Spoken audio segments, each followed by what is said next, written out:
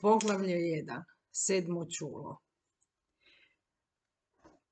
Krepost nije odsutnost poroka, niti izbjegavanje moralnih opasnosti. Krepost je živa i zasebna stvar kao bol ili određeni miris. G.K. Chesterton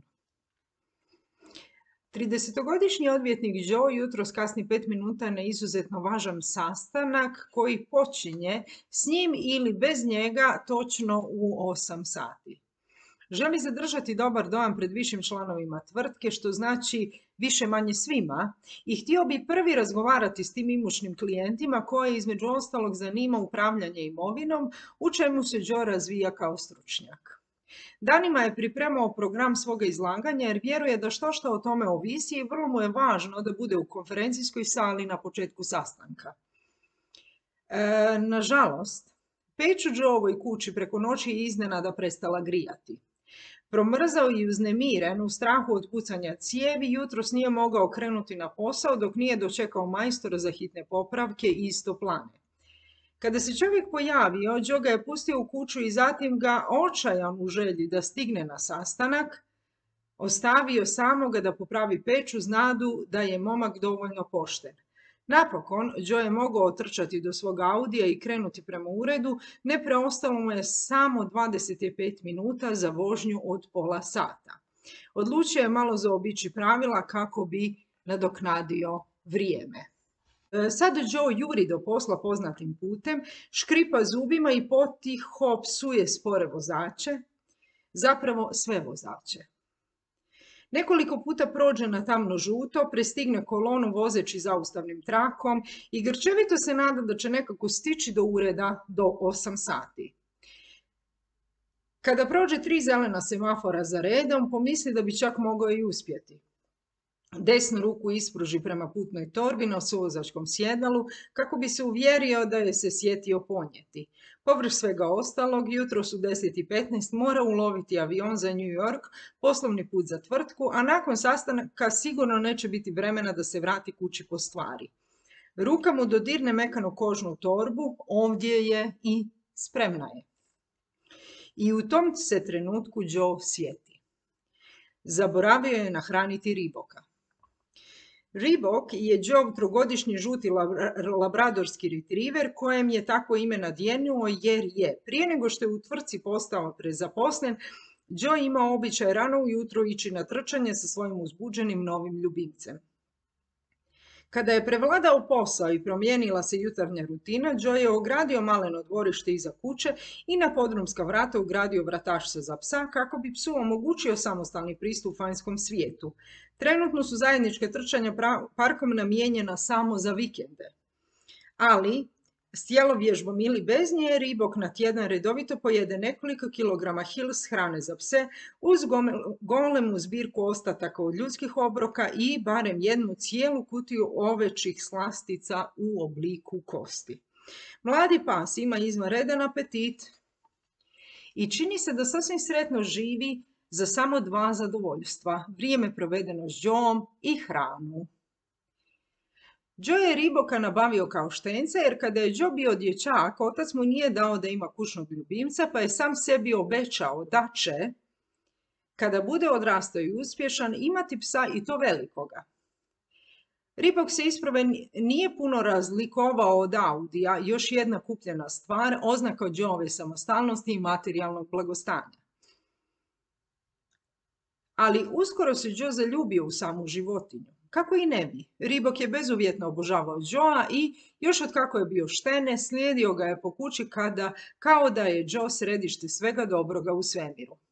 Kako je njegovo štene raslo do pseće dobi, Joe je shvatio da to stvorenje ima jednako poseban i jedinstven karakter kao bilo koje ljudsko biće i da njegove vodenaste smeđe oči imaju barem toliko duše. Sada, kad god se Joe zagleda u te oči, ribok na mreška meko žučkasto čelo u nekoliko brazdi nalik na nabore složenog saga i uzvraća mu pogled. Na taj način taj dragi nezgrapni pas izgleda nevjerojatno zamišljeno kao da Joe čita misli i brine se.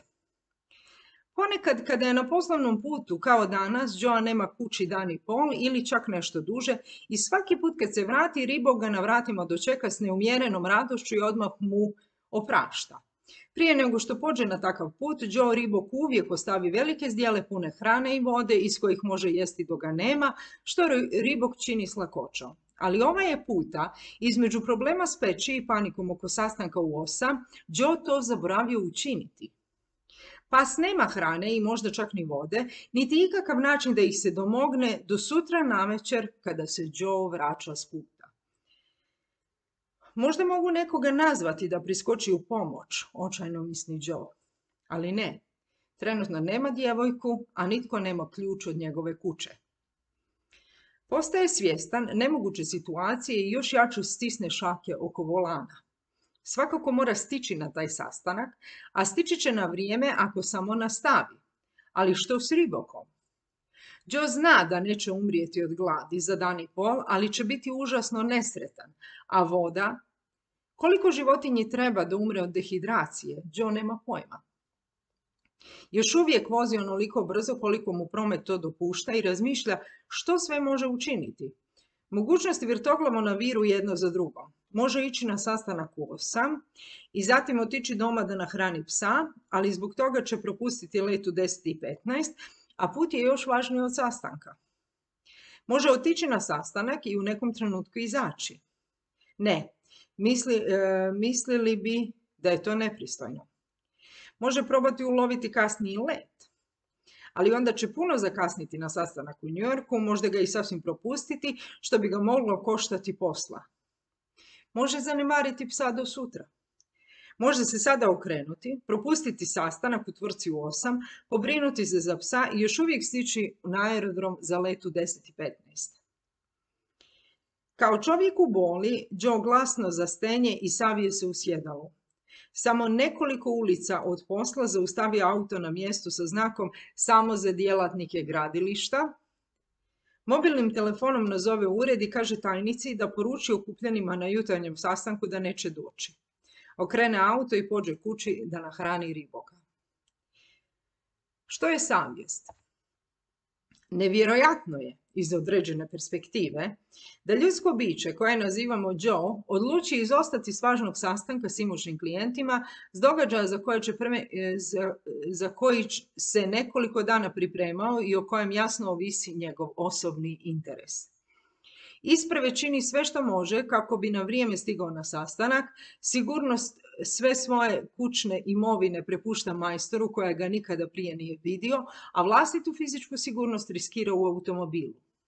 A zatim se u zadnjem trenutku okrene i pođe doma kako bi nahranio psa. Bezazleno stvorenje bez riječi koje ga ne bi čak moglo ni prekoriti što ga je zanemario. Joe vlastitu žudnju s visokim ulogom riskira u korist dijela kojem nitko neće svjedočiti, osim možda majstora, donosi odluku koja ga neće obogatiti ni za jedan cent. Što bi mladog, ambicioznog odvjetnika moglo navesti da tako što učini? Većina će se čitatelja lagano osmijehnuti kada Joe okrene auto. Drago nam je što je se vratio da nahrani psa, ali zašto nam je drago? Djeluje li Joe iz savjesti? Je li to na što mislimo, je li to ono na što mislimo kada za nečije ponašanje izreknemo pozitivnu primjedbu poput savjest ga je spriječila?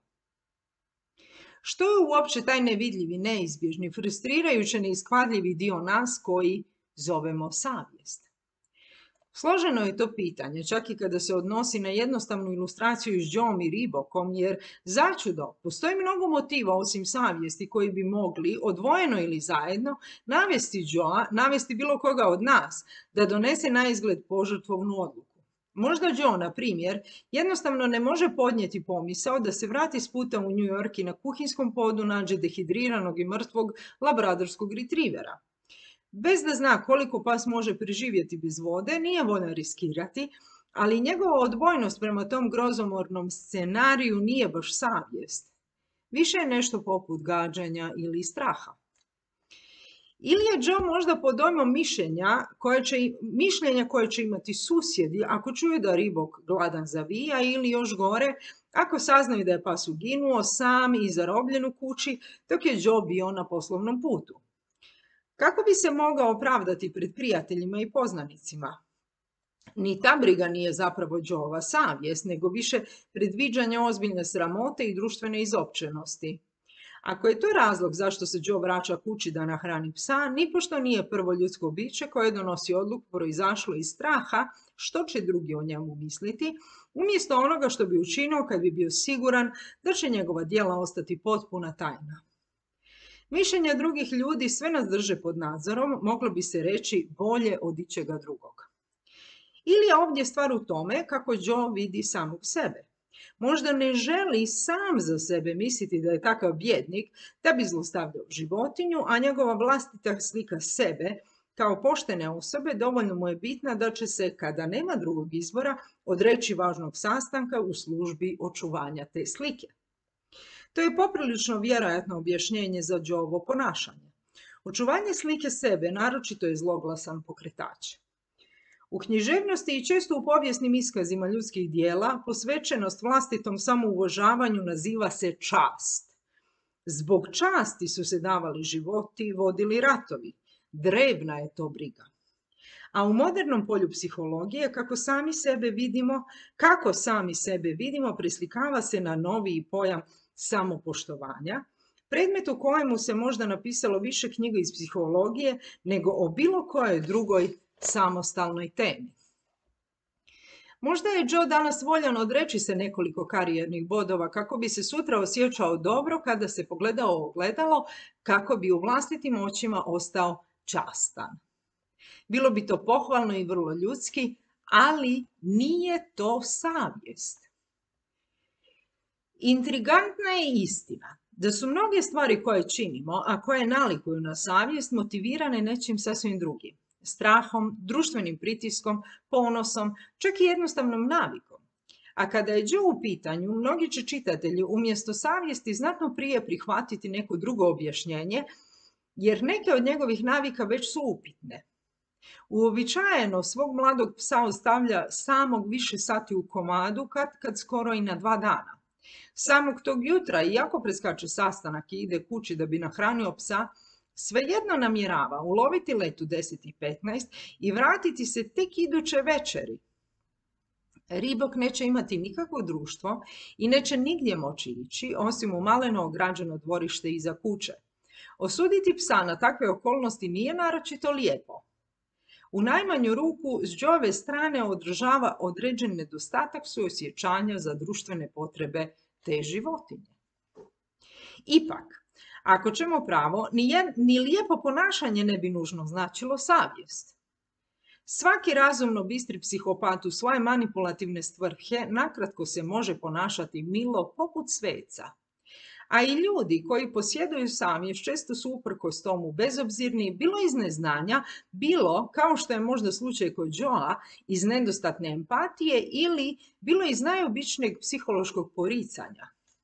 Lijepo ponašanje, obzirno djelovanje, misli o tome kako će drugi ljudi na nas reagirati, časno vladanje u korist vlastitog samopoštovanja, kao i savjest, sve to ima pozitivan utjecaj na svijet, barem većinu vremena. A svako ili sva, ili sva od tih ponašanja s vremena na vrijeme možda nahrane psa, ali ni jedno se ne može odrediti kao savjest pojedinca. To je zato jer Savjest uopće nije ponašanje. Nije nešto što radimo, niti čak nešto što mislimo ili promišljamo. Savjest je nešto što osjećamo. Drugim riječima, savjest nije ni behavioralna ni kognitivna. Savjest postoji prvenstveno u svijetu afekta, poznatijeg kao emocije. Kako bismo razjasnili tu razliku, pogledajmo ponovno Joa. Nije uvijek dobar prema svome psu, no ima li savjest? Što bi recimo za jednog psihologa bio dokaz da zaključi da je Joe, kada je propustio sastanak i otišao kući da spasi riboka, djelovao iz savjesti, a ne iz obzira prema tome što bi drugi ljudi mislili ili da sačuva vlastitu sliku sebe ili možda i značajne financijske činjenice da je prije tri godine platio 1200 dolara za čistokrvno štene labradora zajamčeno bez displazije kuka i srčanih bolesti. Kao psiholog najviše sam uvjerena zbog detalja priče koji do sada još nismo ni dotakli, činjenice da Joe osjeća dragost prema riboku. On je emocionalno privržen svome psu. Ribok slijedi Joe po kući, a Joe se to sviđa. Joe gleda Riboku u oči. Ribok je promijenio Joa iz vlasnika čiji je ljubimac trofej u vlasnika koji je zaluđen svojim ljubimcem. A na račun te privrženosti vjerujem da je Joe, kada je odustao od jutarnjeg plana i otišao kući da se pobrine za svog psa, možda djelovao i savjesti. Kad bismo Joe dali serum istine i pitali ga što se u njemu zbivalo u trenutku kad je odlučio okrenuti auto, i ako bi rekao nešto poput nisam mogao podnijeti pomisao da bi ribok tamo cijelo vrijeme bio gladan i žedan, tada bih bila dovoljno uvjerena da je Joe u toj situaciji nagnala savjest. Temeljila bih svoju procjenu Joa na samoj psihologiji savjesti. Psihološki rečeno, savjest je osjećaj dužnosti u suštini temeljena na emocionalnoj privrženosti drugom živom biću, često, ali ne uvijek ljudskom biću, ili skupini ljudskih bića ili u nekim slučajevima čovječanstvu u cjelini. Savjest ne postoji bez emocionalne veze prema nekomu ili nečemu i na taj je način savjest čvrsto udružena sa spektrom emocija koje nazivamo ljubav. Taj je savez ono što istinskoj savjesti daje otpornost i nevjerojatnu vlast nad onima koje je imaju, a vjerojatno nas zbog toga izbunjuje i frustrira. Savjest nas može potaknuti da donosimo prividno nerazumne, pa čak i samo destruktivne odluke, od trivialnih do junačkih, od propuštanja sastanka u osam do šutnje pod mukama iz ljubavi prema vlastitoj zemlji. Ona nas nagoni na taj način samo zato jer su joj gorivo ništa drugo doli naši najsnažniji osjećaj. A kada svjedočimo ili čujemo o dijelu i savjesti, čak i nekom običnom, poput hranjenju psa, drago nam je.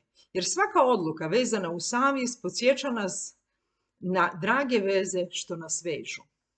Priča o savjesti priča je o povezanosti živih bića, a kada to nesvjesno prepoznamo, osmijehnemo se zbog prave prirode priče.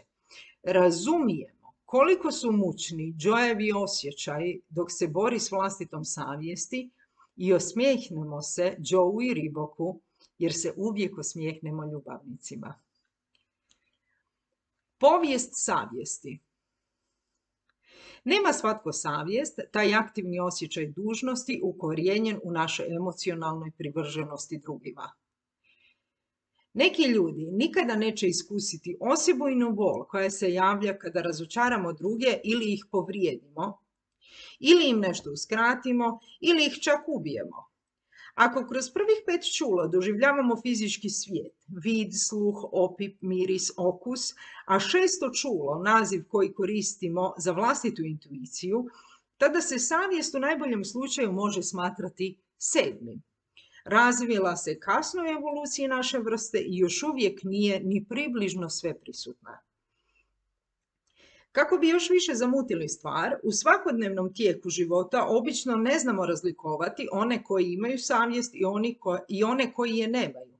Je li zamislivo da ambiciozni mladi odvjetnik ima sedmo čulo? Da, zamislivo je. Bili majka male djece mogla imati sedmo čulo? Naravno da bi. Bili svećenik kojemu je dana briga o duhovnom blagostanju čitave zajednice mogao biti vezan savješću. Nadajmo se. Bili moćni politički vođa čitavog naroda mogao imati savjest. Da kako? Ili, nasuprot tome, bili itko od tih ljudi mogao biti sasvim lišen savjesti? Odgovor je ponovno uznemirujuće da. Anonimnost zla i nepodnošljiva neuhvatljivost zbog koje se ne može pouzdano vezati uz neku specifičnu društvenu ulogu, rasnu skupinu ili fizički tip, od uvijek je mučila teologe, a u zadnje vrijeme i znanstvenike. Kroz čitavu ljudsku povijest snažno smo se trudili odrediti dobro i zlo, te naći neki način da se razjasni zašto su neki među nama obuzeti potonjim.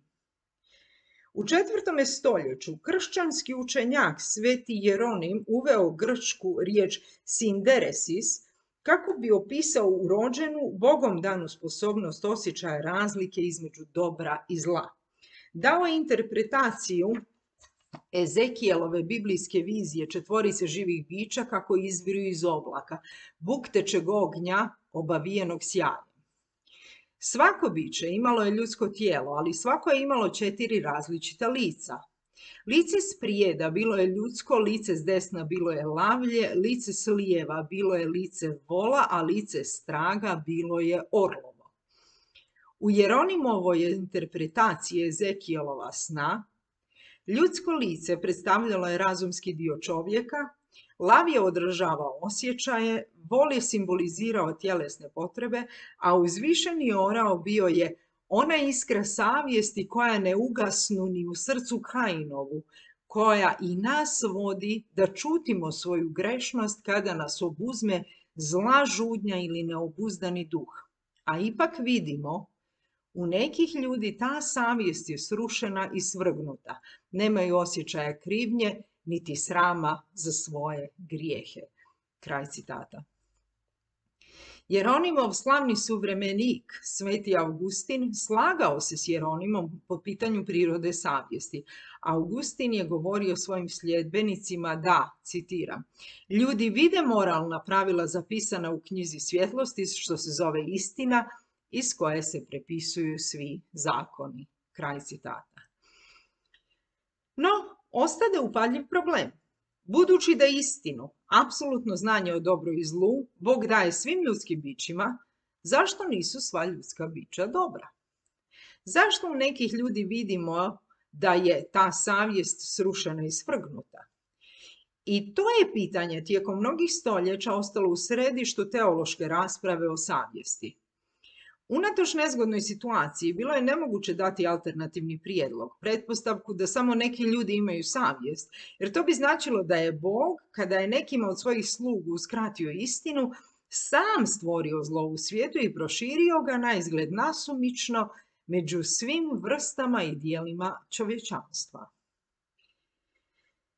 U 13. se stoljeću činilo da je pronađeno rješenje za teološku dilemu oko savjesti kada je Toma Akvinski predložio neizravnu razliku između pojma sinderesis, Jeronimovog nepogrešivog, bogom danog znanja o dobru i zlu, i konsijencija, koju je sačinjavao ljudski razum sklon pogreškama, što nastoji donijeti odluke o ponašanju. Kako bi donio odluku o tome koja dijela valja poduzeti, razumu je Bog dao savršene podatke, ali sam je razum dosta slab. U tom je sustavu za pogrešne odluke i dijela e, krivica na manjkovom ljudskom procesu donošenja odluka, a ne na nedostatku savjesti. Činiti pogrešno znači jednostavno griješiti. Nasuprot tome, prema Tomi, citiram, Sinderesis ne može griješiti, daje načela koja se ne mijenjaju, kao što se zakoni koji upravljaju opipljivim svemirom ne mijenjaju. Kraj citata. Primijenimo takav pogled na naš suvremeni, suvremeni primjer. Kada se Joe sjeti da mu je pas bez hrane i vode, Bogom dan uh, urođeni sinderesis, savjest, Odmah mu govori da je apsolutno ispravno dijelo vratiti se kući i pobrinuti za psa.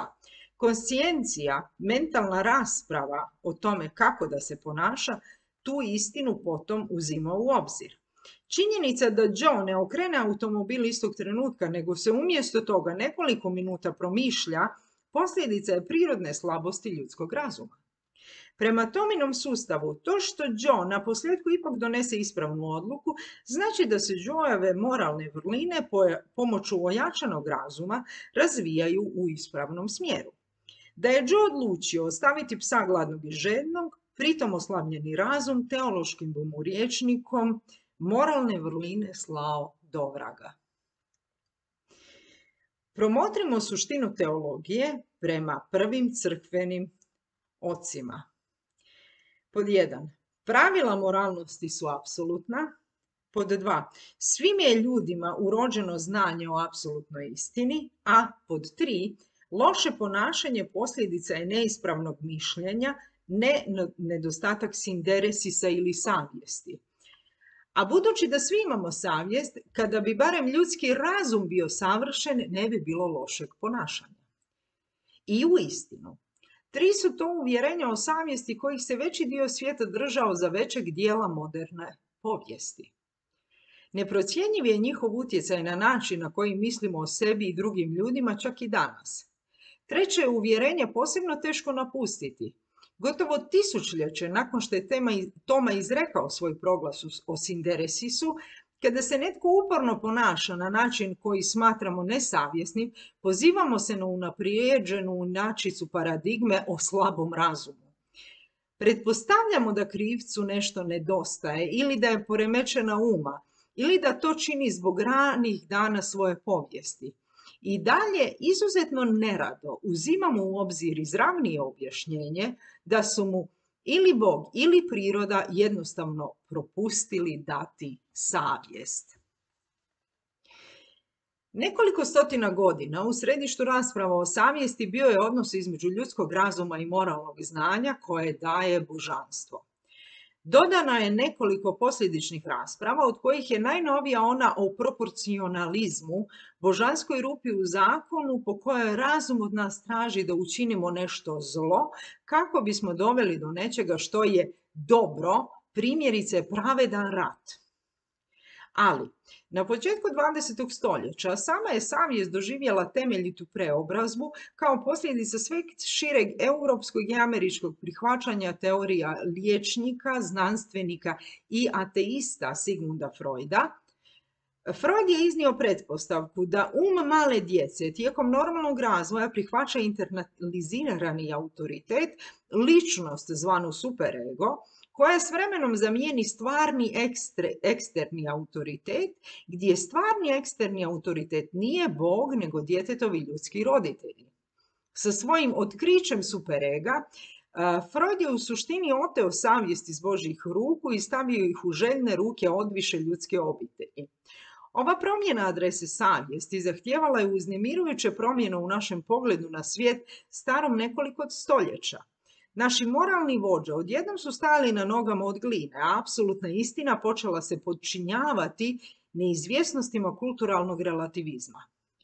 Freudov novi strukturni model uma nije sadržavao ljudski dio, lavni dio, volovski dio i orlovski dio. Umjesto toga, njegovu su tripartitnu viziju činili superego, ego i id. Id su sačunjavali svi seksualni i bezumni agresivni instinkti s kojima smo rođeni uz biološke potrebe id je kao takav čisto bio u sukobu sa zahtjevima civiliziranog društva. Nasuprot tome, ego je bio razumni, svjesni dio uma. Mogao je logički razmišljati, planirati i sjećati se, a s obzirom na to da je ego bio tako opremljen, mogao je izravno komunicirati s društvom i do određene mjere obavljati stvari za primitivniji id. Super ego izrastao iz ega kako bi dijete preuzimalo eksterna pravila svojih roditelja i društva. Superego bi s vremenom postao samostalna sila umu u razvoju, jednosmjerno prosuđivao i usmjeravao djetetove misli i ponašanje. Bio je tu unutarnji glas koji bi zapovjedao i dijelio krivnju, govorio ne, čak i kada u blizini ne bi bilo nikoga. Osnovna zamisao superega zdravorazumski nam ima smisla. Često promatramo djecu kako usvajaju i čak provode pravila svojih roditelja. Majka se namršti četvrogodišnjoj kćeri kaže nema vikanja u autu. Za nekoliko minuta ta ista četvrogodišnjakinja zapovjednički uperi u prstu svoju glasnu dvogodišnju sestru i poviće nema vikanja u autu. A većina nas smo, kao odrasli ljudi, čuli vlastiti superego. Neki od nas čuju ga zapravo dosta često. Glas je to u glavi koji nam kaže budalo, zašto si to napravio? Ili, znaš, ako večeras ne dovršiš taj izvještaj, bit će ti žao. Ili, bilo bi dobro da odeš provjeriti kolesterol. A u priči o Joe i Riboku, Joeovu odluku da propusti sastanak lako je mogao donijeti njegov superego. Kao primjer, pogledajmo četvrogodišnjeg Joea i njegovog oca koji mu brani da drži kućnog ljubimca, te pretpostavimo da mu je otac govorio Ne mali Joey, ne možemo nabaviti psa. Pas je ogromna odgovornost. Kada imaš psa, uvijek moraš prekidati posao da bi se za njega brinuo. Joeova odrasla odluka da okrene auto lako je mogla doći kao uputa od njegovog superega koji je naredio da ispuni upravo tu izreku. U nešto obskurnijem stilu, sam Freud možda bi se pitao je li Joe superego naveo Joa da si uredi čitavo jutro, naravno nesvjesno, da bude u prevelikoj žurbi, da zaboravi ostaviti hranu za psa na način da se očevo pravilo dokaže, a Joe bude kažnjen što je nabavio ljubimca. Jer u Freudovskoj teoriji superego nije samo glas, on je subtilni i kompleksni manipulator, u svemu ima prste, stalno, stalno nešto dokazuje. Optužuje, osuđuje i provodi presudu, a sve to radi sasvim izvan naše svijesti. Iako superego može u najboljem slučaju pomoći pojedincu da se snalazi u društvu, može također postati najdoma, najdominantniji i možda najdestruktivniji dio osobnosti. Prema psihoanalitičarima, posebno strogo superego, koji pojedinca neumorno kažnjava, može stvoriti doživotnu depresiju ili čak dovesti sirotu žrtvu do samoubojstva. I tako je Freud svijetu predstavio neupitno sekularnu zamisao da savjestu nekih ljudi možda treba ispraviti i da se kroz psihoanalizu zaista može ispraviti. Nadalje, još šokantnije. Freud i njegovi sljedbenici povezali su konačno utvrđivanje superega s dječjim razrješenjem Edipovog kompleksa. Edipov kompleks u djevojčica kad nazvana elektrin kompleks nastaje kada malo dijete između treće i pete godine počne shvaćati da nikada neće u potpunosti posjedovati roditelja suprotnog spola. Prozaično rečeno, dječaci moraju prihvatiti da se neće oženiti svojim majkama, a djevojke moraju prihvatiti da se neće udati za svoje očeve. Edipovske borbe i, posljedični osjećaj suparništva, straha i ogorčenja prema roditelju istog spola prema Freudu su toliko snažni i opasni za djetetove obiteljske odnose da ih treba temeljito potisnuti ili držati podalje od svijesti, a to je potisnuće omogućeno žestokim osnaživanjem mladog superega. Od te točke nadalje, ako bi se prema roditelju suprotnog spola pojavili ikakvi seksualni osjećaji ili prema, e, ili prema roditelju istog spola ikakvi suparnički osjećaji, te će osjećaje poraziti strašno, nemilosrdno oružje novo osnaženog superega, iznenadna nepodnošljiva krivnja. Na taj način superego stječe autonomiju i ključnu prednost u djetetovu umu, Strog je to i grub nadzornik postavljen da služi našoj potrebi da ostanemo dio skupine. Što god drugo mislili o takvom teoretiziranju, Freudu valja odati priznanje što je shvatio da naš osjećaj za moral nije hermetički kodeks isti za sve, nego je dinamičan i duboko isprepleten s ključnim obiteljskim i društvenim vezama. Kroz svoje tekstove o superegu, Freud je znanstvenom svijetu koji se budi obznanio da naše uobičajeno poštivanje zakona i reda nije jednostavno nametnuto izvana. Poštujemo pravila, štujemo vrline, prvenstveno iz unutrašnje potrebe koja počinje u ranom djetinstvu da sačuvamo i ostanemo prihvaćeni u obitelji i širem ljudskom društvu u kojemu živimo. Savjesti superego. Bez obzira, vjerujete li ili ne da je superego intrapsihički spletkar ili da je Freudovim riječima nasljednik Edipovog kompleksa, mora se priznati da je sam superego bogat i koristan pojam. Kao unutarnji glas stečen kroz značajne odnose u djetinstvu, koji daje primjedbe na naše nedostatke i korina zbog prijestupa, superego je dio subjektivnog iskustva koji većina ljudi s lakoćom prepoznaje. Nemoj to raditi. Ne bi se trebao tako osjećati. Pazi, ozlijedit ćeš se. Budi dobar prema sestri. Počisti taj nered za sobom. Ne možeš si to priuštiti. Pa, to ti baš nije bilo pametno. Morat ćeš se nositi s time. Prestani gubiti vrijeme. Superego nam u umovima prigovara svakog dana života. A neki ljudi imaju superego koji je daleko uvredljiviji od drugih. Ipak, superego nije isto što i savjest subjektivno se možda čini kao savjest i možda je jedan mali dio onoga što savjest jest, ali superego sam po sebi nije savjest. To je zato jer je Freud dok je razvijao pojam superega izbacio i što valja i što ne valja. Kada je izbacio moralni apsolutizam iz psihološke misli, izostavio je i nešto drugo. Najjednostavnije, Freud je izostavio ljubav i sve emocije vezane uz ljubav. Iako je često govorio da djeca vole roditelje uz to što ih se boje, superego o kom je pisao bio je u potpunosti temeljen na strahu. U njegovom pogledu, kao što se bojimo oštrih kritika roditelja dok smo djeca, tako se kasnije bojimo osuđujećeg glasa superega, a strah je sve. U freudovskom superegu nema mjesta za povoljan utjecaj na izgradnju savjesti koju imaju ljubav, suosjećanje, nježnost ili, ili bilo koji drugi pozitivni osjećaj. A savjest je, kao što smo vidjeli kod Joa i Riboka, aktivan osjećaj dužnosti temeljen na našoj emocionalnoj privrženosti drugima svim aspektima naše emocionalne privrženosti, uključujući ponajprije ljubav, suosjećanje i nježnost. U onih pojedinaca koji ga posjeduju, sedmo je čulo, u stvari prvenstveno temeljeno na ljubavi i suosjećanju. Tijekom stoljeća smo napredovali od vjerovanja u Bogom, u Bogom usmjeren sinderesis do vjerovanja u kažnjava, kažnjavalački roditeljski superego, do shvaćanja da je savjest duboko i dirljivo usađena u našu sposobnost da brinemo jedni za druge.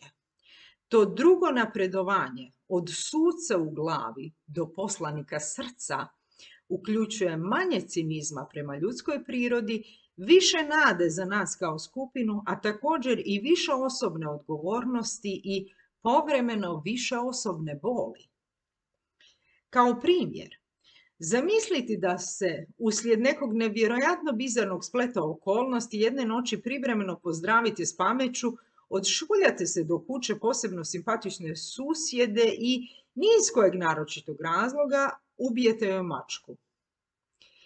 Netom prije zore vratite se pameti i shvatite što ste učinili. Što osjećate? Kakva je točno priroda vaše reakcije krivnje?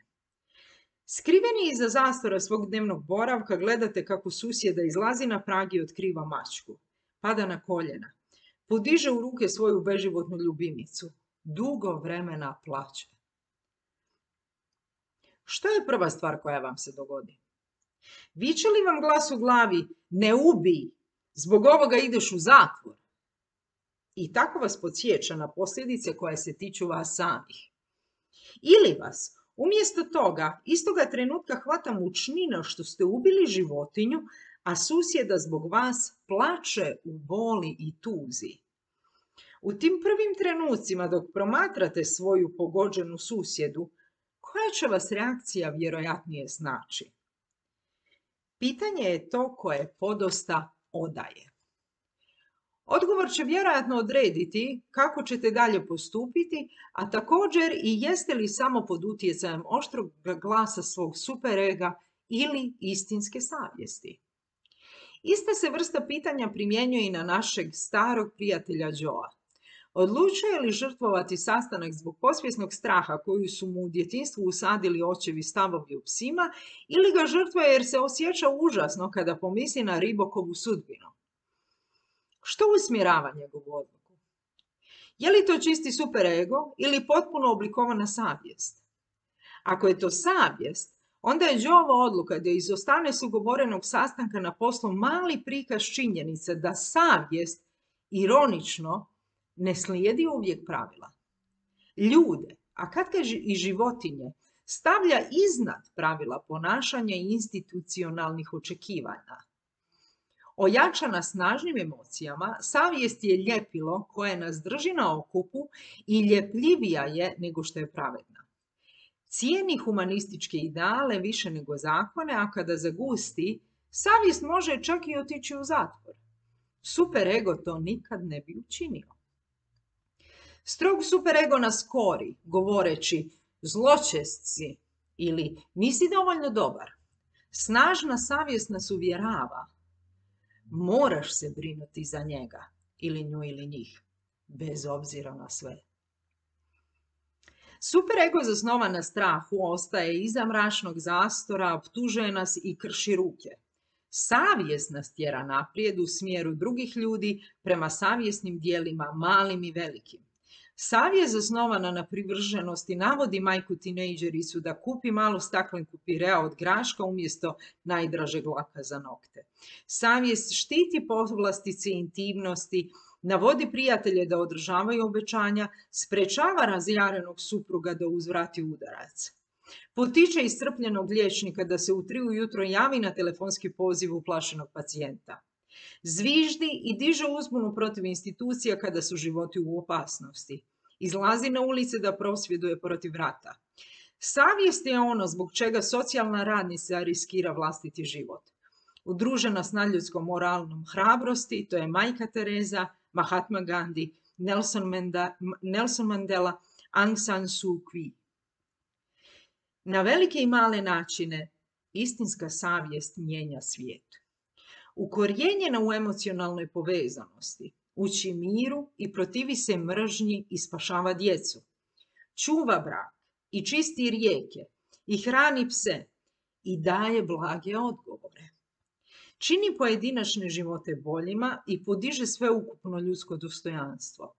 Stvarna je i uvjerljiva i natjerala bi nas da iskočimo iz vlastite kože kad bismo shrvali svoju susjedu. Problem je, kao što ćemo uskoro vidjeti, da je nemaju svi. Točnije, 4% svih ljudi je nema. Okrenimo se sada raspravi o takvoj osobi. Nekome tko jednostavno nema savjest i vidimo kako nam izgleda.